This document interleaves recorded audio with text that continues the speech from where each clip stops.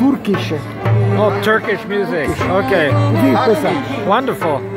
So this is a Turk Turkish band playing right in front of the famed Pedrocchi Cafe. And uh, these dancers uh, seem to really know what they're doing.